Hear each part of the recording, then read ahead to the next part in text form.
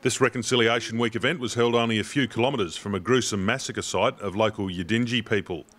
That's the sad past here, and the children are the hopeful future at this early learning centre that has not only Aboriginal and Torres Strait Islander students, but many other races too.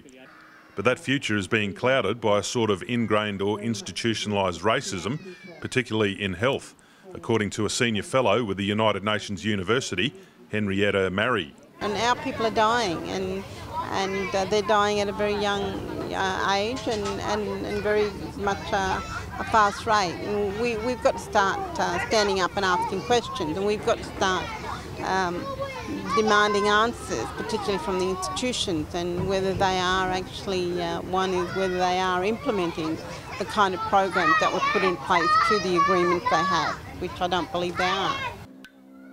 Henrietta worked in the United States and says she didn't suffer institutionalised racism there. I was recognised for my expertise in what I could give the institution, not seen as an Aboriginal person uh, working on, on issues that just concern my people.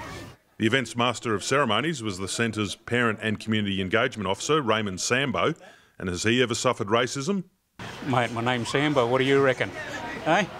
I told the story the other day. I grew up, I grew up when there was a little book going around, Little Black Sambo. So my name's Raymond Sambo, so I uh, copped a fair bit of a racism. Raymond can laugh now at a little schoolyard teasing, but he says when members of parliament stand up and defend the rights of people to be bigots, that's troubling. Well, well that's a real worry, you know. You wonder, you know, what, what the hell we're, we're coming to. You know, we, we seem to be going backwards as far as some of the political um, uh, arena. And then when we have Indigenous leaders standing up there and supporting some of that stuff, that's even worse.